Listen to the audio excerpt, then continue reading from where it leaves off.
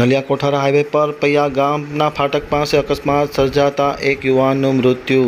નલિયાથી મારા પ્રતિનિધિ હિરેન ગોસ્વામીનો એક વિસ્તૃત અહેવાલ. નલિયા કોઠારા રોડ પર બાઇક અને કાર વચ્ચે આજે સવારે અકસ્માત સર્જાતા બે વ્યક્તિને ઈજા પહોંચી હતી અને એક વ્યક્તિનું મૃત્યુ નીપજ્યું હતું. સવારના સમયગાળામાં નલિયા કોઠારા રોડ ઉપર પૈયા ફાટક પાસે કાર અને બાઇક વચ્ચે ધડાકાભેર અકસ્માત સર્જાયો હતો, જેમાં પૈયા ગામના સુરેન્દ્રસિંહ ખોડુભા સોઢા ઉંમર વર્ષ અઢાર નામના કિશોરનું મૃત્યુ નીપજ્યું હતું. જ્યારે હરદીપસિંહ, ડુંગરસિંહ સોઢા અને હિંમતસિંહ દાદુભા સોઢા રહેવાસી પૈયાવાળા ગંભીર રીતે ઘાયલ થતાં તેમને એકસો આઠ એમ્બ્યુલન્સની મદદથી સુરેન્દ્રનગરની હોસ્પિટલમાં રિફર કરવામાં આવ્યા હતા. જ્યાં સુરેન્દ્રસિંહ સોઢાને સારવાર મળે તે પહેલાં તેમનું મૃત્યુ થયું હતું આ મૃત્યુથી સોઢા પરિવારમાં શોકની લાગણી વ્યાપી ગઈ હતી અને અકસ્માત બાદ નલિયા પોલીસે તાત્કાલિક અસરથી તપાસ હાથ ધરી છે.